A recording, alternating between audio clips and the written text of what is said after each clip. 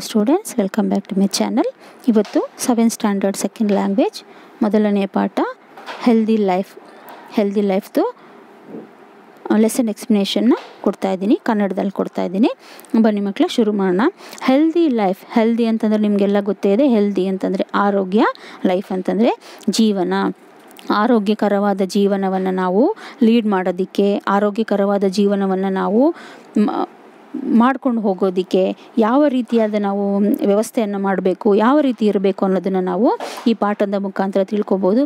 ಮತ್ತು ಈ healthy life ಪಾಠದಲ್ಲಿ ಯಾವ ರೀತಿ ನಮ್ಮ ಆರೋಗ್ಯನ ನಾವು ಕೆಡಿಸ್ಕೊತಾ ಇದ್ದೀವಿ ಅನ್ನೋದನ್ನು ಕೂಡ ನಾವು ಈ ಪಾಠದ ಮುಖಾಂತರ ತಿಳ್ಕೊಬೋದು. ಬನ್ನಿ ಮಕ್ಕಳ, ಶುರು ಮಾಡೋಣ.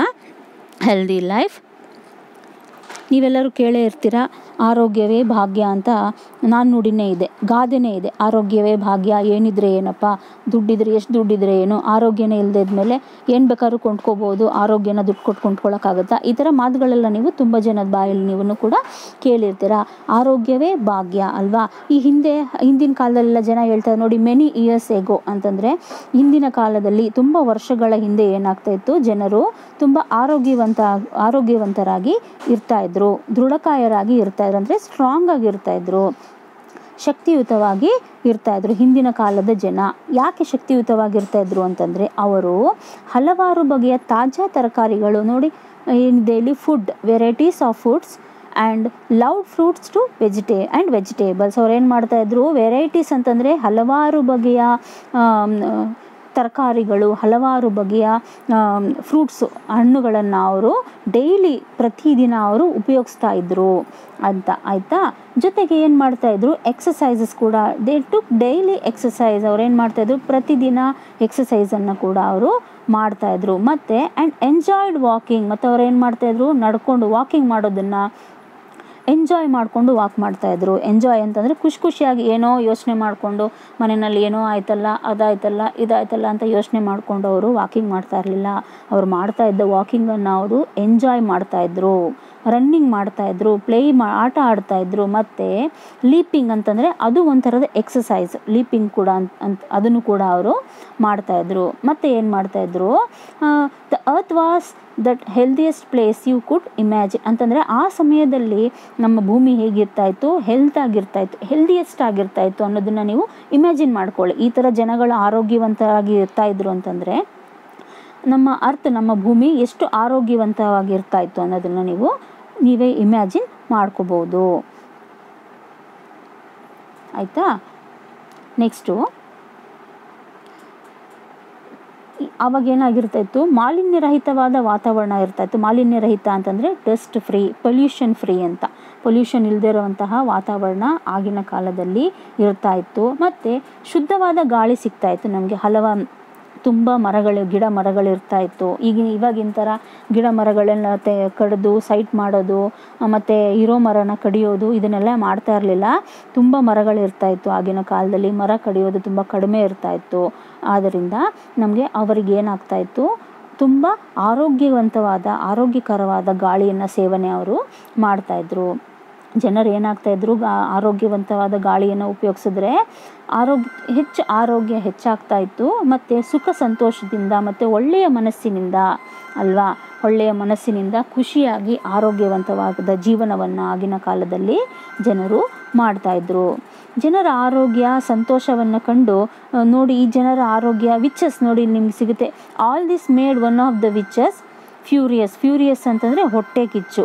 ಇದೆಲ್ಲ ನೋಡಿ ಕೆಲವರು ಮಾಟಗಾತಿಯರು ಏನು ಮಾಡ್ತಾಯಿದ್ರು ಈ ಊರಿನ ಜನ, ಈ ಹಳ್ಳಿಯ ಜನ, ಈ ಎಷ್ಟು ಆರೋಗ್ಯವಂತರಾಗಿದ್ದಾರೆ, ಎಷ್ಟು ಖುಷಿಯಾಗಿದ್ದಾರೆ ಅಂತ ಇದನ್ನು ಅದನ್ನೆಲ್ಲ ನೋಡಿ ಅವ್ರಿಗೆ ತುಂಬ ಹೊಟ್ಟೆ ಕಿಚ್ಚಾಗ್ತಾ ಇತ್ತು.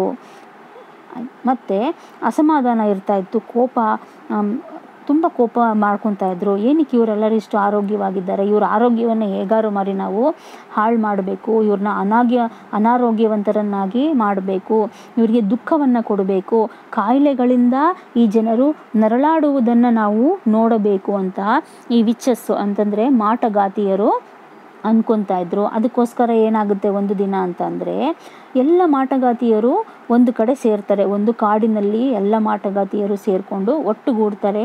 ಮತ್ತು ಅವರು ಯೋಚನೆ ಮಾಡ್ತಾರೆ, ಒಂದು ದ್ರವ ರೂಪವನ್ನು ನಾವು ರೆಡಿ ಮಾಡೋಣ ದ್ರವ ರೂಪದ ಮದ್ದನ್ನು, ಔಷಧವನ್ನು ನಾವು ರೆಡಿ ಮಾಡಿ ಜನಗಳೆಲ್ಲ ತಗೊಳ್ಳೋ ಥರ ಮಾಡಿದ್ರೆ ಅವರು ಕಾಯಿಲೆಗೆ ತುತ್ತಾಗ್ತಾರೆ, ನರಳಾಡ್ತಾರೆ, ಒದ್ದಾಡ್ತಾರೆ ಅಂತ ಒಂದು ದ್ರವ ರೂಪದ ಔಷಧವನ್ನು ರೆಡಿ ಮಾಡೋದಕ್ಕೆ ಈ ಎಲ್ಲ ವಿಚಸ್ ಅಂತಂದರೆ ಮಾಟಗಾತಿಯರು ಎಲ್ಲರೂ ಸೇರಿಕೊಂಡು ಕಾಡಿನೊಳಗಡೆ ಒಂದು ಗುಂಪಾಗಿ ಸೇರ್ಕೊತಾರೆ. ಆವಾಗ ಕೆಲವು ಮಾಟಗಾತಿಯರಿಗೆ ಒಂದು ಷರತ್ತಿರುತ್ತೆ ನಿಯಮ ಇರುತ್ತೆ ಆ ಮಾಟಗಾತಿಯರಲ್ಲಿ. ಏನಾದರೂ ಒಂದು ಸಾಧನೆಯನ್ನು ಮಾಡಬೇಕಾದ್ರೆ, ಮಂತ್ರಗಳನ್ನು ಹೇಳಬೇಕಾದ್ರೆ ಯಾರು ಮಧ್ಯದಲ್ಲಿ ಮಾತಾಡಬಾರ್ದು, ಮೌನವಾಗಿರಬೇಕು ಅಂತ ಒಂದು ನಿಯಮವನ್ನು ಈ ಮಾಟಗಾತಿಯರಿಗೆ ಇರುತ್ತೆ. ಈ ಮಾಟಗಾತಿಯರೆಲ್ಲ ಸೇರಿಕೊಂಡು ಈ ದ್ರವ ರೂಪದ ಔಷಧವನ್ನು ರೆಡಿ ಮಾಡಬೇಕಾದ್ರೆ ಒಬ್ಬ ಮಾಟಗಾತಿ ಏನು ಮಾಡಿಬಿಡ್ತಾಳೆ? ಮಾತಾಡ್ಬಿಡ್ತಾಳೆ. ಸಡನ್ನಾಗಿ ಮಾತಾಡ್ಬಿಡ್ತಾಳೆ. ಅದರಿಂದ ಏನಾಗುತ್ತೆ? ಈ ಮಾ ದ್ರವ ರೂಪದ ಒಂದು ಔಷಧವನ್ನು ರೆಡಿ ಮಾಡ್ತಾ ಇದ್ರಲ್ವಾ? ಅದನ್ನು ಅದಕ್ಕೆ ವಿಘ್ನ ಆಗೋಗ್ಬಿಡುತ್ತೆ, ತೊಂದರೆ ಆಗೋಗ್ಬಿಡುತ್ತೆ. ಅಂದರೆ ಆ ಕೆಲಸ ಸರಾಗವಾಗಿ ನಡೆಯೋದಿಲ್ಲ. ಅವಾಗ ಏನಾಗುತ್ತೆ? ಮಾತಾಡಿದ ತಕ್ಷಣ ಅಲ್ಲೇನು ಬ್ಲಾಸ್ಟ್ ಆಗಿಬಿಡುತ್ತೆ. ಬ್ಲಾಸ್ಟ್ ಆಗಿ ಏನಾಗುತ್ತೆ? ಇಡೀ ಕಾಡು ಸುಟ್ಟೋಗ್ಬಿಡುತ್ತೆ. ಬ್ಲಾಸ್ಟ್ ಆಗಿದ ತಕ್ಷಣ ಈ ಮಾಟಗಾತಿಯರೆಲ್ಲ ಏನಾಗ್ತಾರೆ ಅಂತಂದರೆ ಜರ್ಮ್ಸ್ ಆಗಿಬಿಡ್ತಾರೆ. ಸಣ್ಣ ಸಣ್ಣ ಹುಳುಗಳಾಗ್ಬಿಡ್ತಾರೆ. ಸಣ್ಣ ಸಣ್ಣ ಹುಳುಗಳಾಗಿ ಇವ್ರು ಏನಾಗ್ತಾರೆ ಅಂತಂದರೆ, ಇವರು ರೆಡಿ ಮಾಡ್ತಾ ಇರ್ತಾರಲ್ಲ, ತಯಾರಿಸ್ತಾ ಇರ್ತಾರಲ್ಲ ಒಂದು ದ್ರವ ರೂಪ, ರೂಪದ ಔಷಧವನ್ನು, ಮದ್ದನ್ನು, ಆ ದ್ರವ ರೂಪದ ಔಷಧದೊಳಗಡೆ ಈ ಮಾಟಗಾತಿಯರೆಲ್ಲ ಹೋಗಿ ಜರ್ಮ್ಸ್ ಆಗಿ ಕನ್ವರ್ಟ್ ಆಗಿ ಅದರೊಳಗಡೆ ಹೋಗಿ ಸೇರ್ಕೊಂಡ್ಬಿಡ್ತಾರೆ. ಒಂದಿನ ಏನಾಗುತ್ತೆ? ಒಂದು ಹುಡುಗ ಒಂದು ಆಟ ಆಡಿಕೊಂಡು ಸುಂದರವಾದ ಹುಡುಗ ಏನು ಮಾಡ್ತಾನೆ? ಆ ಜಾಗದಲ್ಲಿ ಆಟ ಆಡ್ಕೊಂಡಿರ್ತಾನೆ. ಆಟ ಆಡ್ತಾ ಇರಬೇಕಾದ್ರೆ ಆ ಬಾಟಲ್ನ ನೋಡ್ತಾನೆ ಆ ಹುಡುಗ. ನೋಡಿಬಿಟ್ಟು ಆ ಬಾಟಲ್ ನೋಡೋದಕ್ಕೆ ತುಂಬ ಸುಂದರವಾಗಿರುತ್ತೆ. ಆಕರ್ಷಕವಾಗಿರುತ್ತೆ ಆ ಬಾಟಲ್ಲು. ಅವಾಗ ಏನು ಮಾಡ್ತಾನೆ ಆ ಹುಡುಗ? ಅದನ್ನು ತೆಗೆದುಬಿಟ್ಟು, ಅದರೊಳಗಡೆ ಇರುವಂತಹ ಲಿಕ್ವಿಡನ್ನು ದ್ರವವನ್ನು ಏನು ಮಾಡ್ತಾನೆ? ಘಟಘಟ ಘಟ ಅಂತ ಕುಡಿದ್ಬಿಡ್ತಾನೆ, ಕುಡಿದ್ಬಿಟ್ಟು ಅದ್ರ ಪರಿಣಾಮ ಏನಾಗುತ್ತೆ ಗೊತ್ತಾ? ಅದನ್ನು ಕುಡ್ದಿದ ತಕ್ಷಣ ಏನಕ್ಕೆ ಅದು ಕುಡ್ದಿದ ತಕ್ಷಣ ಹಾಳಾಗುತ್ತೆ ಅಂತಂದರೆ ಅದರಲ್ಲಿ ಮಂತ್ರಶಕ್ತಿಯಿಂದ ಕೂಡಿದಂತಹ ಆಲ್ರೆಡಿ ಅದು ಮಂತ್ರಶಕ್ತಿಯಿಂದ ಕೂಡಿದ್ದಂತಹ ಒಂದು ಲಿಕ್ವಿಡ್ ಆಗಿತ್ತು. ಅದರೊಳಗಡೆ ಬ್ಲಾಸ್ಟ್ ಆಗಿರೋದ್ರಿಂದ ಮಾಟಗಾತಿಯರು ಕೂಡ ಸಣ್ಣ ಸಣ್ಣ ಜೇಮ್ಸ್ ಆಗಿ, ಹುಳುಗಳಾಗಿ, ಆ ಲಿಕ್ವಿಡ್ ಒಳಗಡೆ ಹೋಗಿ ಸೇರ್ಕೊಂಡ್ಬಿಡ್ತಾರೆ. ಕುಡ್ದಿದ ತಕ್ಷಣ ಏನಾಗುತ್ತೆ? ಆ ಹುಡುಗನಿಗೆ ಆರೋಗ್ಯ ಹಾಳಾಗುತ್ತೆ ಒಂದು. ಅವನ ನಡವಳಿಕೆಯಲ್ಲಿ ಬದಲಾವಣೆ ಆಗುತ್ತೆ, ಅವನ ಜೀವನ ಶೈಲಿ, ಎಲ್ಲ ಅಭ್ಯಾಸಗಳು ಅವನು ಬದಲಾವಣೆಯನ್ನು ಮಾಡ್ಕೊತಾನೆ. ಈ ಮೊದಲು ಆ ಹುಡುಗ ಏನಿರ್ತಾನೆ ಅಂತಂದರೆ ಹೀಗಿರ್ತಾ ಇರಲಿಲ್ಲ. ಅವನು ಆಹಾರ ಪದ್ಧತಿಯಲ್ಲಾಗಲಿ, ಅವನ ಜೀವನ ಶೈಲಿಯಲ್ಲಾಗಲಿ ಯಾವುದೇ ರೀತಿಯ ವ್ಯತ್ಯಾಸ ಇರಲಿಲ್ಲ. ಈ ಲಿಕ್ವಿಡನ್ನು ಈ ದ್ರವವನ್ನು ಕುಡಿದಿದ ತಕ್ಷಣ ಅವನು ಈ ಎಲ್ಲ ರೀತಿಯ ಆ್ಯಕ್ಟಿವಿಟೀಸಿಂದ ಅವನು ಏನಾಗ್ತಾನೆ? ಬದಲಾಗ್ಬಿಡ್ತಾನೆ. ಅವನಿಗೇನಾಗುತ್ತೆ? ಅನಾರೋಗ್ಯ ಉಂಟಾಗುತ್ತೆ. ಅವನ ಆರೋಗ್ಯ ಹಾಳಾಗೋಗುತ್ತೆ. ಹಾಗೆ ಹೀಗೆ ಕೆಲವು ದಿನಗಳು ನಡೀತಾ ಇರುತ್ತೆ. ಜನಗಳು ಏನು ಮಾಡ್ತಾರೆ? ಒಬ್ಬರಿಂದ ಒಬ್ಬರು, ಒಬ್ಬರಿಂದ ಈ ಹಾಳಾಗಿರುವಂಥ ಹುಡುಗನ ನೋಡಿಕೊಂಡು ಇನ್ನೂ ಒಂದು ಸ್ವಲ್ಪ ಜನ ಹಾಳಾಗೋದಕ್ಕೆ ಶುರು ಮಾಡ್ತಾರೆ. ಅವರೆಲ್ಲರೂ ಫಿಸಿಕಲ್ ಎಕ್ಸಸೈಸನ್ನು ಮಾಡೋದನ್ನು ನಿಲ್ಲಿಸ್ಬಿಡ್ತಾರೆ. ಮತ್ತು ಯಾವ ಯಾವುದೋ ಇಷ್ಟವಿಲ್ಲದಿರೋದು ಅಂತಹ ಊಟ ತಿಂಡಿಯನ್ನು ಮಾಡ್ತಾರೆ. ಯಾವುದೋ ಟೈಮಲ್ಲಿ ಊಟ ಮಾಡ್ತಾರೆ. ಪಿಜ್ಜಾ ತಿನ್ನೋದು ಬರ್ಗರ್ ತಿನ್ನೋವಂಥದ್ದು, ಈ ಎಲ್ಲ ಹೊಸ ಹೊಸ ಅಭ್ಯಾಸಗಳನ್ನೆಲ್ಲ ರೂಢಿಸ್ಕೊತಾರೆ. ಮತ್ತು ಹಣ್ಣು ತರಕಾರಿಗಳನ್ನು ತಿನ್ನೋದನ್ನೇ ಅವರು ಬಿಟ್ಬಿಡ್ತಾರೆ. ಈ ರೀತಿಯಾಗಿ ಏನಾಗುತ್ತೆ? ಎಲ್ಲರೂ ಕೂಡ ಒಳ್ಳೆ ಒಳ್ಳೆ ಅಭ್ಯಾಸಗಳನ್ನು ಬಿಟ್ಟು ಈ ಕೆಟ್ಟ ಅಭ್ಯಾಸಗಳನ್ನು ಶುರು ಮಾಡಿಕೊಂಡು ತಮ್ಮ ಆರೋಗ್ಯವನ್ನು ತಾವು ಕೆಡಿಸ್ಕೊಳ್ಳೋದಕ್ಕೆ ಶುರು ಮಾಡ್ತಾರೆ. ಇದೇ ಸಮಯದಲ್ಲಿ ಏನಾಗುತ್ತೆ? ಒಬ್ಬರು ಡಾಕ್ಟರ್ ಬರ್ತಾರೆ. ಆಯಿತಾ? ಆ ಡಾಕ್ಟರ್ ಹೆಸರು ಡಾಕ್ಟರ್ ಬರ್ತಾರೆ. ಡಾಕ್ಟರ್ ಹೆಸರು ಡಾಫಿಟರ್ ಹಳ್ಳಿ ಅಂತ ಹೇಳಿ ಅವ್ರ ಹೆಸರು. ಅವ್ರು ಏನು ಮಾಡ್ತಾರೆ, ಏನಕ್ಕೆ ಇದ್ದಕ್ಕಿದ್ದಾಗೆ ಜನಗಳೆಲ್ಲರೂ ಆರೋಗ್ಯವಂತ ಜನಗಳೆಲ್ಲರೂ ಕಾಯಿಲೆ ತುತ್ತಾಗ್ತಾ ಇದ್ದಾರಲ್ಲ ಅಂತ ಅವ್ರು ಏನು ಮಾಡ್ತಾರೆ, ಸಂ, ಸಂಶೋಧನೆಯನ್ನು ನಡೆಸ್ತಾರೆ. ಮೈಕ್ರೋಸ್ಕೋಪ್ ಅಂತಂದರೆ ಗೊತ್ತೇ ಇದೆ ನಿಮಗೆ. ಮೈಸ್ಕೋ, ಮೈಕ್ರೋಸ್ಕೋಪಲ್ಲಿ ನೋಡಿದ್ರೆ ಎಂತಹ ಹುಳಗಳು ಕೂಡ, ಎಷ್ಟು ಸಣ್ಣವಾದ ಹುಳಗಳು ಕೂಡ ಕೂಡವನ್ನು ಕೂಡ ನಾವು ನೋಡ್ಬೋದಾಗಿದೆ. ಮೈಕ್ರೋಸ್ಕೋಪಿಂದ ನೋಡ್ತಾರೆ. ಜಮ್ಸನ್ನು ಈ ಜಮ್ಸಿಂದ ಇದೇ ಜಮ್ಸಿಂದ ಜನಗಳ ಆರೋಗ್ಯ ಹಾಳಾಗ್ತಾ ಇದೆ, ಜೀವನ ಶೈಲಿ ಬದಲಾಗ್ತಾ ಇದೆ ಅಂತ ನಮ್ಮ ಡಾಕ್ಟರ್ಗೆ ಗೊತ್ತಾಗುತ್ತೆ. ನಂತರ ಏನಾಗುತ್ತೆ? ಡಾಕ್ಟರ್ ಸಂಶೋಧನೆಯನ್ನು ನಡೆಸಿ ಕಂಡುಹಿಡಿತಾರೆ ಈ ಕ್ಷುದ್ರ ಜೀವಿಗಳು ಮಾಟಗಾತಿಯರಿಂದ ಹೀಗಾಗ್ತಾ ಇದೆ ಅಂತ. ಜನರ ನಡವಳಿಕೆಗಳಾಗಲಿ, ಕಾ ಎಲ್ಲ ರೀತಿಯ ಬದಲಾವಣೆ ಕಾರಣ ಇದೆ ಅಂತ ನಮ್ಮ ಡಾಕ್ಟರ್ಗೆ ಗೊತ್ತಾಗುತ್ತೆ. ಹೇಗಾದರೂ ಮಾಡಿ ಡಾಕ್ ಈ ಮಾಟಗಾತಿಯರನ್ನು ಹಾಳು ಮಾಡಬೇಕು. ಈ ಜರ್ಮ್ಸ್ನನ್ನು ನಾವು ಜನಗಳ ಜೀವನ ಶೈಲಿಯಿಂದ ತೊಲಗಿಸಬೇಕು ಅಂತ ಡಿಸೈಡ್ ಮಾಡ್ತಾರೆ. ಇದನ್ನು ತೊಲಗಿಸಿದ್ರೆ ಆರೋಗ್ಯವಂತವಾಗಿ ನಾವು ಇರ್ಬೋದಾಗುತ್ತೆ ಆರೋಗ್ಯವಂತವಾದ ಜೀವನವನ್ನು ನಾವು ಶುರು ಮಾಡಬಹುದಾಗುತ್ತೆ. ಒಂದು ವೇಳೆ ಜನರು ಆರೋಗ್ಯವಂತವಾಗಿ, ಸುಖವಾಗಿ, ಸಂತೋಷವಾಗಿ ಇದ್ದರೆ ಈ ಮಾಟಗಾತಿಯರು ಜ, ಮಾಟಗಾತಿಯರು ಜನರ ದೇಹದಿಂದ, ಜನರ ಮೈಯಿಂದ ಏನಾಗುತ್ತೆ? ಹೇಳ್ದೆ ಕೇಳದೆ ಹೊರಟೋಗುತ್ತೆ ಅಂತ ಗೊತ್ತಾಗುತ್ತೆ. ಅದು ಹೇಳಿದೆ ಕೇಳಿದೆ ಯಾವಾಗ ಹೋಗುತ್ತೆ? ಹಸಿರು ತರಕಾರಿಗಳು, ಹಣ್ಣು ಹಂಪಲುಗಳು ತಿನ್ನಬೇಕು ಶುದ್ಧವಾದ ಗಾಳಿಯನ್ನು ನಾವು ಸೇವನೆ ಮಾಡಬೇಕು. ಜೊತೆಗೆ ದೇಹಕ್ಕೆ ನಾವು ಶ್ರಮ ನೀಡುವಂತಹ ಕೆಲಸ ಕಾರ್ಯಗಳನ್ನು ಮಾಡಬೇಕು ಅಂತ ಸಲಹೆಯನ್ನು ಡಾಕ್ಟರು ಆರೋಗ್ಯ ಅನಾರೋಗ್ಯದವರಿಗೆ ಕೊಡ್ತಾರೆ. ಡಾಕ್ಟರ್ ಅವರು ಅನಾರೋಗ್ಯ ಪೀಡಿತರಿಗೆ ಶುಶ್ರೂಷೆ ನೀಡ್ತಾರೆ ಅಂತಂದರೆ ಆರೈಕೆಯನ್ನು ಮಾಡ್ತಾರೆ. ಅವರು ಯಾವುದೇ ಮಾತ್ರೆ, ಇಂಜೆಕ್ಷನ್ ಚುಚ್ಚುಮದ್ದು ಚುಚ್ಚುಮದ್ದು ಅಂತಂದರೆ ಇಂಜೆಕ್ಷನ್ಸು. ಯಾವುದೇ ಮಾತ್ರೆ ಚುಚ್ಚುಮದ್ದನ್ನು ನೀ ಕೊಡುವಂಥ ಅವಶ್ಯಕತೆ ಇರೋದಿಲ್ಲ. ಹೀಗೆ ನಾವು ಆರೋಗ್ಯವಂತವಾದ ಜೀವನವನ್ನು ನಾವು ಮಾಡಿದ್ರೆ ನಾವು ಆದಷ್ಟು ಬೇಗ ಆರೋಗ್ಯವನ್ನು ಪಡ್ಕೋಬೋದು ಮತ್ತು ಈ ಔಷಧಿಗಳ, ಇಂಜೆಕ್ಷನ್ಗಳ ನಮಗೆ ಅವಶ್ಯಕತೆ ಇರುವುದಿಲ್ಲ.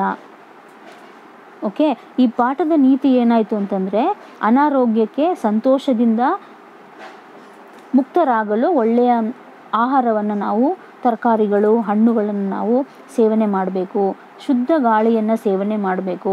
ಬಹಳ ಮುಖ್ಯವಾದ ಜೀವನ ಶೈಲಿಯನ್ನು ನಾವು ಬದಲಾಯಿಸ್ಕೋಬೇಕು. ಆರೋಗ್ಯವಂತರಾಗಿ ಬಾಳಬೇಕು ಅಂತ ಈ ಪಾಠದಿಂದ ನಾವು ಕಲ್ತ್ಕೋಬೋದು. ಮಕ್ಕಳ, ಇಲ್ಲಿ ಜರ್ಮ್ಸ್ ವಿಚಸ್ ಅಂತಂದರೆ ಮಾಟಗಾತಿಯರು. ಮಾಟಗಾತಿಯರು ಅಂತಂದರೆ ಜೀವ ಇರುವಂತಹ ಮನುಷ್ಯರ ರೂಪದಲ್ಲಿ ಅಲ್ಲ, ಇಲ್ಲಿ ಮಾಟಗಾತಿಯರು ಅಂತ ಅಂದರೆ ಜರ್ಮ್ಸು ಜರ್ಮ್ಸ್ ನಮ್ಮ ಜಮ್ಸ್ ಹೇಗೆ ಅಟ್ಯಾಕ್ ಆಗುತ್ತೆ ನಾವು ರೋಡ್ ಸೈಡಲ್ಲೆಲ್ಲ ತಿಂತೀವಿ ಅದನ್ನು ಅವರು ಶುದ್ಧವಾದ ಪಾತ್ರೆಗಳನ್ನ ಉಪಯೋಗಿಸಿರ್ತಾರೋ ಇಲ್ವೋ ಗೊತ್ತಿರೋದಿಲ್ಲ, ಆಯಿತಾ? ಕೆಲವರಿಗೆಲ್ಲ ಫುಡ್ ಪಾಯ್ಸನ್ ಆಗುತ್ತೆ, ಏನಕ್ಕಾಗುತ್ತೆ? ಈ ಕ್ಲೀನಾಗಿರುವಂತಹ ಆಹಾರವನ್ನು ನಾವು ತಿಂದೇ ಇದ್ದಾಗ ಫುಡ್ ಪಾಯ್ಸನ್ ಆಗುತ್ತೆ. ಆ ಫುಡ್ ಪಾಯ್ಸನ್ನು ಜರ್ಮ್ಸಿಂದನೇ ಆಗೋದು. ಆಯಿತಾ? ಅದಕ್ಕೆ ನಾವು ಹೊರಗಡೆ ಊಟ ತಿಂಡಿಯನ್ನು ಮಾಡಬಾರ್ದು. ಶುದ್ಧವಾಗಿ ಮನೆಯಲ್ಲೇ ಮಾಡಿರುವಂತಹ ಅಡುಗೆ ಊಟವನ್ನು ಮಾಡಬೇಕು. ಎಕ್ಸಸೈಸ್ ಮಾಡಬೇಕು. ಹೆಚ್ಚು ಹೆಚ್ಚು ತರಕಾರಿಗಳು, ಸೊಪ್ಪು, ಹಣ್ಣು ಎಲ್ಲವನ್ನು ನಾವು ತಿನ್ನಬೇಕು ಹೆಚ್ಚು ಹೆಚ್ಚು ನೀರು ಕುಡಿಬೇಕು. ಆಯಿತಾ? ಪ್ರತಿದಿನ ವಾಕಿಂಗ್ ಮಾಡಬೇಕು. ಇದೆಲ್ಲವನ್ನು ಮಾಡಿದ್ರೆ ನಾವು ಹೆಲ್ದಿಯಾದ ಜೀವನವನ್ನು ಹೆಲ್ದಿ ಲೈಫನ್ನು ನಾವು ಲೀಡ್ ಮಾಡ್ಬೋದು ಅಂತ ನಾವು ಈ ಪಾಠದ ಮುಖಾಂತರ ತಿಳ್ಕೊಂಡಿದ್ದೀವಿ. ನಿಮಗೆ ಈ ಪಾಠದಲ್ಲಿ ಯಾವುದಾದ್ರೂ ಡೌಟ್ ಇದ್ದರೆ ಯಾವುದಾದ್ರೂ ಪದದ ಅರ್ಥ ಗೊತ್ತಾಗಲಿಲ್ಲ ಅಂತಂದರೆ ನೀವು ಕಾಮೆಂಟ್ ಮಾಡಿ. ನಾನು ಕಾಮೆಂಟ್ ಮುಖಾಂತರ ನಿಮಗೆ ಅದರ ಅರ್ಥವನ್ನು ನಾನು ನಿಮಗೆ ತಿಳಿಸ್ಕೊಡ್ತೀನಿ ಓಕೆ ಹೆಲ್ದಿ ಲೈಫ್ ಪಾಠದ ಎಕ್ಸ್ಪ್ಲನೇಷನ್ ನಾನು ಕನ್ನಡದಲ್ಲಿ ಕೊಟ್ಟಿದ್ದೀನಿ ನಿಮಗೆ. ಅರ್ಥ ಆಗಿದೆ ಅಂತ ಅನ್ಕೋತೀನಿ ಮಕ್ಕಳ ಅರ್ಥ ಆಗಿಲ್ಲ ಅಂತಂದರೆ ಕಾಮೆಂಟ್ ಮಾಡಿ ಓಕೆ ಚಾನಲ್ನ ಸಬ್ಸ್ಕ್ರೈಬ್ ಮಾಡಿಲ್ಲ ಅಂತಂದರೆ ಫಸ್ಟ್ ಸಬ್ಸ್ಕ್ರೈಬ್ ಮಾಡಿ ಲೈಕ್ ಮಾಡಿ ಮತ್ತು ನಿಮ್ಮ ಫ್ರೆಂಡ್ಸ್ಗೂ ಕೂಡ ಶೇರ್ ಮಾಡಿ. ನೀವು ನಿಮ್ಮದು ಒಂದು ಸಬ್ಸ್ಕ್ರೈಬ್ ನನಗೆ ಇನ್ನಷ್ಟು ವೀಡಿಯೋಗಳನ್ನ ಮಾಡೋದಕ್ಕೆ ನನಗೆ ಪ್ರೋತ್ಸಾಹವನ್ನು ಕೊಟ್ಟಂಗಾಗುತ್ತೆ. ಓಕೆ ಮಕ್ಕಳ ಟೇಕ್ ಕೇರ್ ನೆಕ್ಸ್ಟ್ ವೀಡಿಯೋದಲ್ಲಿ ನಾನು ಈ ಹೆಲ್ದಿ ಲೈಫ್ದು ಕ್ವಶನ್ ಆ್ಯಂಡ್ ಆನ್ಸರ್ಸ್ನ ಕೊಡ್ತೀನಿ. ಓಕೆ ಮಕ್ಕಳ ಟೇಕ್ ಕೇರ್ ಬಾಯ್